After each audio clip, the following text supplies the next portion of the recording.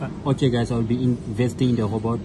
So you can see here i'm selecting my robot and the amount that i want to invest which is hundred dollars. Say confirm amount. Yes hundred dollars that i'm investing. Plus the subscription fee which is 9.99 for 12 months. Confirm.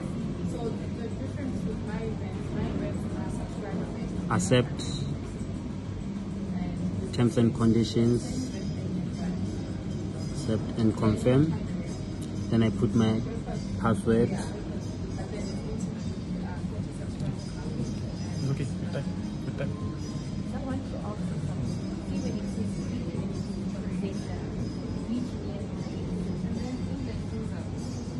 Then after I put my password I say confirm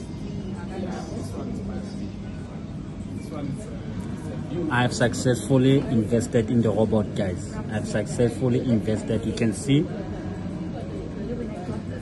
Thanks.